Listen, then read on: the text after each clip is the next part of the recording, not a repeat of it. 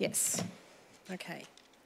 So, good afternoon, everyone. I formally declare open this council meeting of the Colac Otway Shire on the 8th of November 2023.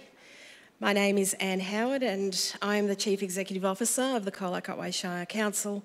And I'd like to start this afternoon by acknowledging the traditional custodians and lawmakers of this land, their elders past and present, and welcome any descendants here today.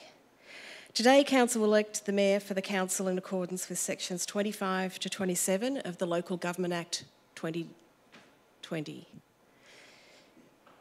Um, Council may also choose to elect a Deputy Mayor at this meeting in accordance with the relevant provisions of the Act. Section 25.3a of the Local Government Act 2020 requires that the election of the Mayor be conducted by the Chief Executive Officer, and therefore I will chair the first part of this meeting. Once the election of the Mayor has occurred, I will vacate the chair and the elected Mayor will assume the role of the chair for the remainder of the meeting. I'd like to advise that all council meetings are recorded and live streamed, with the exception of confidential matters, and this includes the participation by the public in sections of the meeting.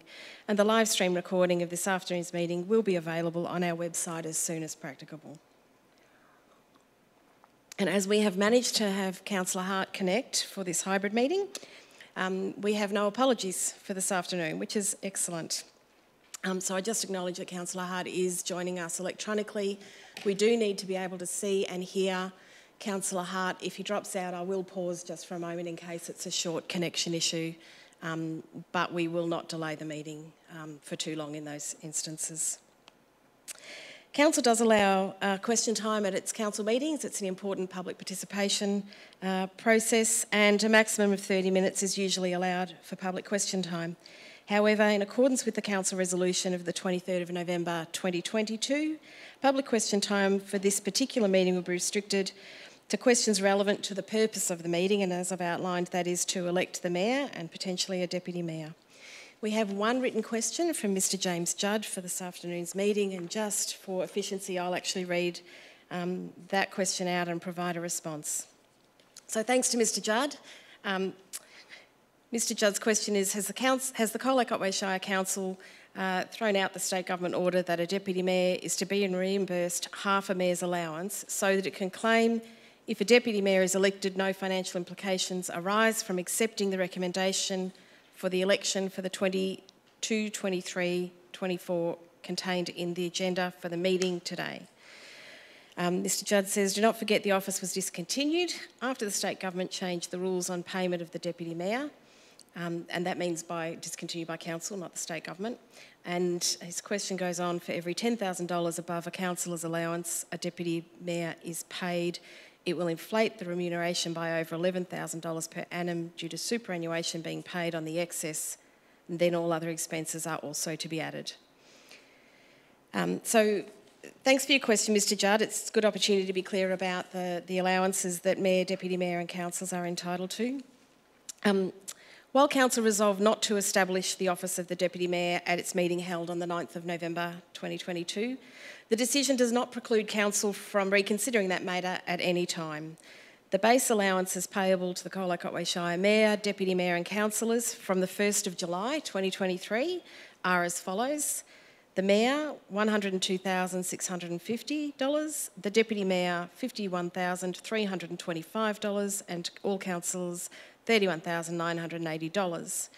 The allowances are set by the Victorian Independent Remuneration Tribunal and are inclusive of superannuation entitlements. And a provision has been made in the uh, council budget for 22 23 to allow the deputy mayoral allowance to be paid as prescribed. Um, Council did also receive some other questions in writing before today's meeting, but because they don't relate to the matter on the agenda, we will have those answered at the next council meeting okay? And we will make sure that those people who submitted questions in writing are aware of that so they don't think that we forgot them. Uh, it's just we're focusing on the election of Mayor and Deputy Mayor today. We have an opportunity to take questions from the gallery if there are any that relate to the purpose of tonight's meeting. So I'll just ask, is there anyone in the gallery who wishes to ask a question around the election of Mayor or Deputy Mayor process? No one's indicating that they want to ask questions, so we'll be able to move on. Um, before I move to the uh, first important item of the meeting, I just wish to acknowledge our Mayor for the last 12 months, Councillor Chris Potter. Chris has been an active mayor, always keen to celebrate community achievements and listen to what's happening in local communities. Chris has also represented our council in our work with regional partners and elected representatives and other levels of government. And on behalf of my fellow officers, I'd like to thank Chris for his support over what has been a very busy 12 months.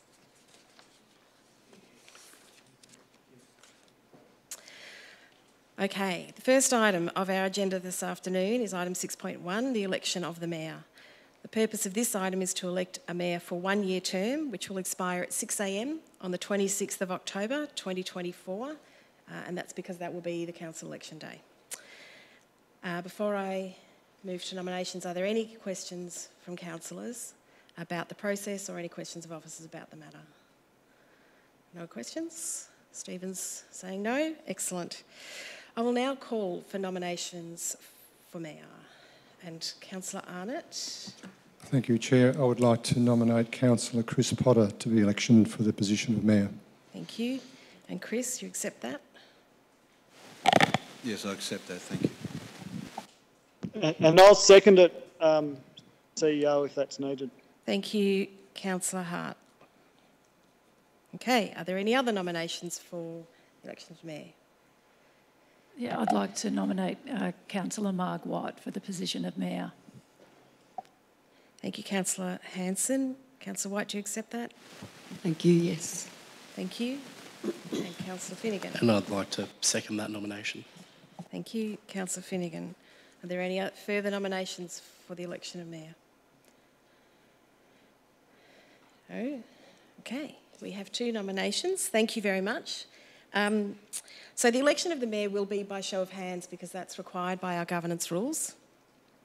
And all councillors present are expected to vote for one of the candidates.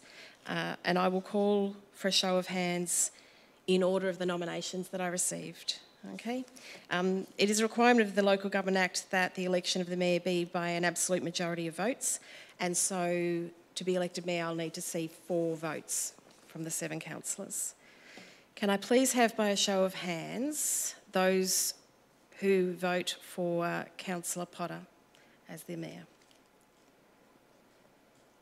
Can I please have by show of hands those who are voting for Councillor White as mayor?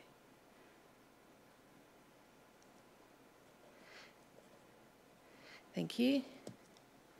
Um, so there was an absolute majority of votes and therefore, congratulations, Councillor White. I declare that you're elected as the Mayor of Colac Otway Shire Council, and I invite you to assume the chair.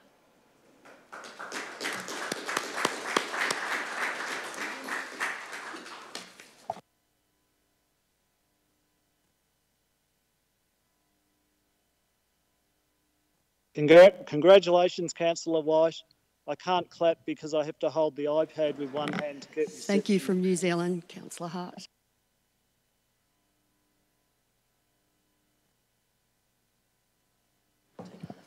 Thank you. The shakes. No, firstly, um, and most importantly, I'd like to um, thank uh, Councillor Potter for his um, leadership and efforts over the last 12 months. Um, he's been a great leader and very inclusive and, and very uh, collaborative, so I really appreciate that. Um, it's really been a busy 12 months, and we know we had two new councillors come on board. Um, we achieved some really significant things, and um, Councillor Potter led that really well. Things like the review of the local laws and um, the, the uh, community infrastructure plan in Apollo Bay, and a number of other things. So I really want to thank him for his leadership in that. We've had a really good, positive, and respectful working relationship, and, and I reckon that will um, continue. Um, I want to thank my fellow councillors for their support and encouraging me to run. Um, I really um, appreciate the confidence you've shown in me, and I, although he's not here, thank my husband who's great at steering the ship at home and always supports me in my endeavours. So, I just want to put that on the record. So thanks again, Councillor Potter, for all your work, and uh, we'll move on with the next part of the meeting. Thank you. Okay. Probably better just to look here, do you think? So the next item on the agenda is uh, establishing the office of Deputy Mayor. So the purpose of this report is to establish that office of Deputy Mayor.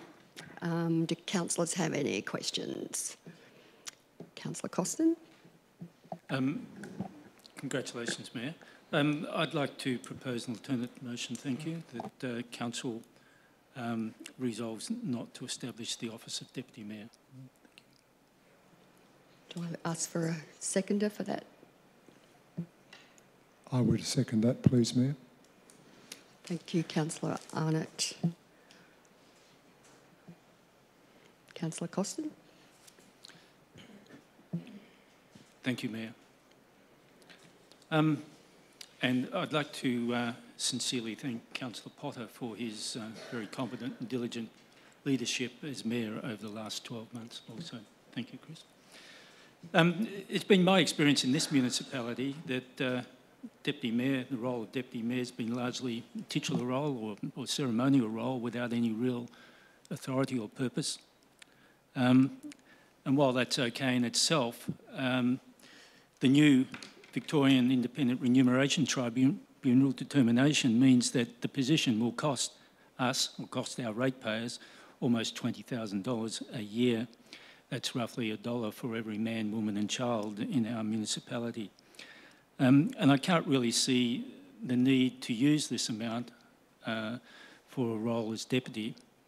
Um, we've all fulfilled filled in for Councillor Potter over the last 12 months, and I think that's worked very well. We've all had the opportunity um, to um, step into the Mayor's shoes, and uh, again thank Councillor Potter for that opportunity. I think that's worked quite well.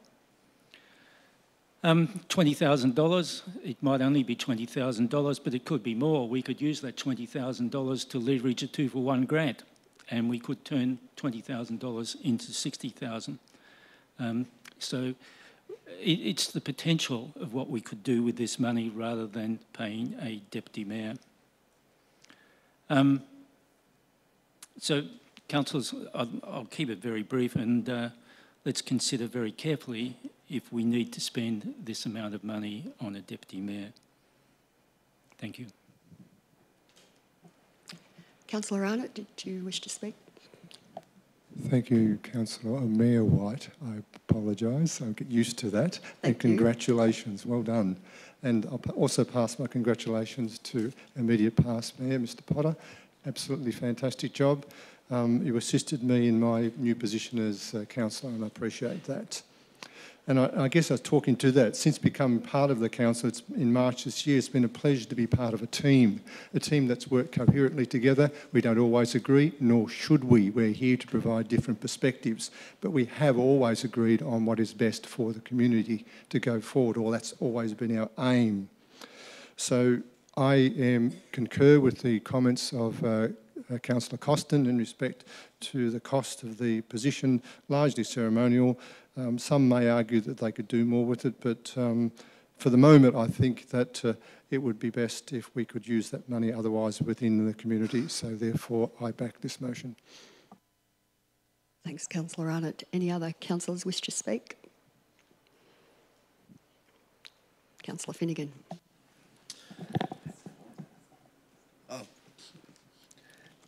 Uh, thank you very much, Mayor White, and congratulations on your election. And like the other councillors, I'd like to thank Councillor Potter for his service as Mayor over the last 12 months. Like Councillor Arnott, I've come on uh, during this calendar year, and your guidance was incredibly valuable to me as someone uh, finding their feet in the role. I do understand the uh, the concerns of Councillor Costin uh, and as echoed by Councillor Arnott in relation to the Deputy Mayor's role and the uh, under, understand that the increase in salary is something that has made this position somewhat difficult.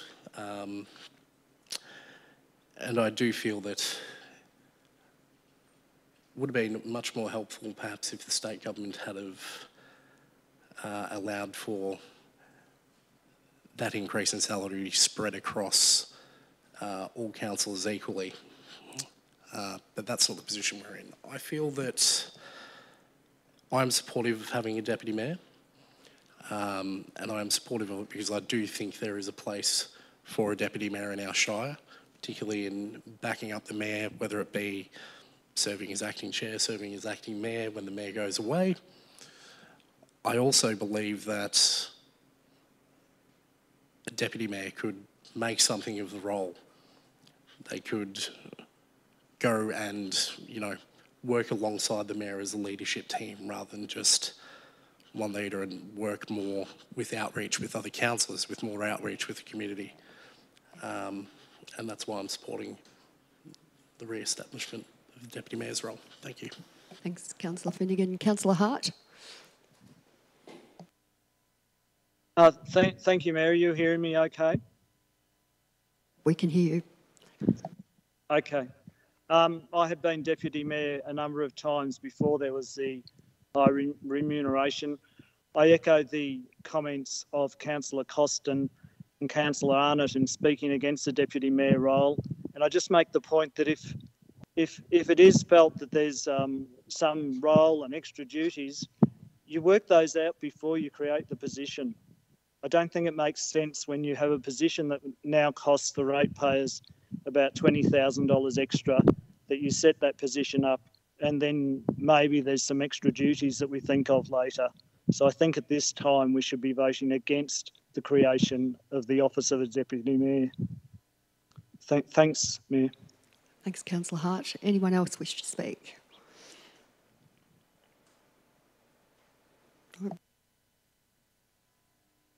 Councillors, I call for a vote. All those in favour? Four. Those against? Carried 4 3. That's the end of the meeting. Thank you very much, everybody, for attending. Um, cup of tea time. Thank you. Thank you, Mayor.